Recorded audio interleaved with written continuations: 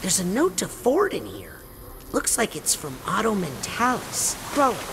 I think it's time we add a third psychic to our research team. Her name is Lucrecia Mux. She's hoping to get out of Grulovia, where her husband was just killed in the war. I know you have concerns about hydraulic mining, Ford, but with Lucrecia's powerful hydrokinesis, we could wash the Psitanium out of these caves in no time. I feel like the two of us have been digging forever, but with Lucy's help, I feel like I see